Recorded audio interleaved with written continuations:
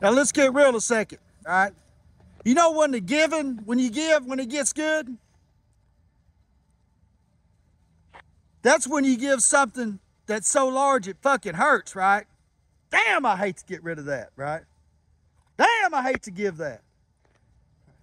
People that give away their shit they don't need Yeah. to people are actually getting done a favor, right? Hey, you can have that. Hey, please get that. But I remember when my homeboy needed some money and I gave him my brand new fifth wheel to sell on Marketplace, right? Fucking hurt. That's thousand dollars. But I pulled goosenecks. I got a fifth wheel. I remember that. He's in federal prison right now.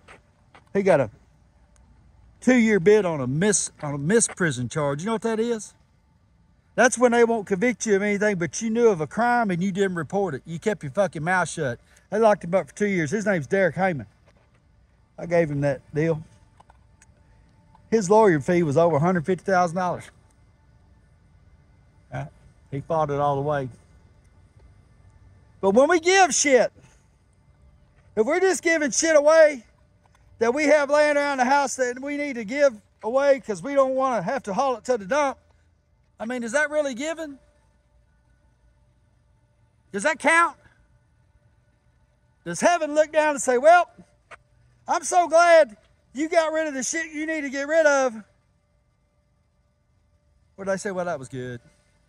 They don't. No more than you give a damn about people that give you half-ass work, wash your car half-ass, cook you a half-ass meal. And that's where I'm at today. I don't want to half-ass nothing. And I don't want to give half of anything. And I sure in the fuck don't want to give somebody some of my shit I don't want. Take it out. I'll tell my wife, take it out of that pile and burn that shit, right? Because what I give, what I give my wife and my family and this nation is the same thing that God gave of me. And that's everything. That's absolutely fucking the whole, the whole bucket, right? The whole list. And there's people in this nation that lost their homes. Not just one, thousands. And they're speculated, and there's guys I know on the floor, they're not reporting, over 10,000 people dead. Family members dead. People calling people on Facebook informing groups, hey, have you seen my daughter? Have you seen my son? Have you seen my grandchild? They are missing. They have been missing for three weeks. And they're hoping for a fucking miracle, like a real miracle, like the miracle where like they see the spaceship and the aliens come down on camera, in person. A fucking big shebang, right? And there's roads that are still covered, people still undiscovered, trees so big that 20 inch saws won't cut, right? Tears still hitting the ground, bodies still stinking, body bags still needed. People need to be fed.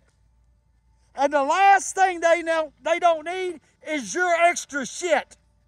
No, they don't need your extra stuff. They need cots, generators, propane fuel cells, conversion kits for big bottles to little bottles, big chainsaws, chains, bars, oil, fucking generators, portable heaters, batteries, tents, Connex buildings, 20 and 40 footers delivered, and volunteers that can fucking do the work and play the role, work with others. It's not, listen, it is not some, I talked, I, I know a woman personally that is running a camp in Bakersfield, right? And here's what we like to do. We like to roll up there, roll our little nice clothes out, shake some hands, give them some shit, give our little advice and our say our little prayer and haul ass. All right? They don't need that.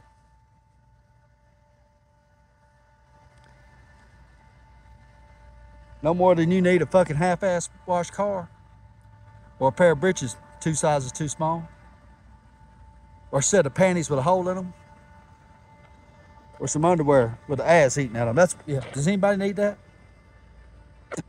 What if you went to the Chinese store went up there and ordered you an egg roll, and they sent you one back that was bit in half, you would throw a fucking fit.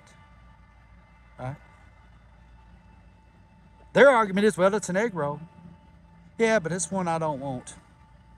And that's what I'm asking you today. Right? We don't need clothes. We don't need fucking more. We don't need no more water. We need big boy shit. And I'm a big boy, and I'm going to deliver. And if you want to be a part of that, hallelujah. All right?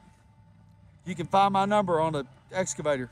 I don't have the excavator no more. I sold it for a truck. I got a backhoe.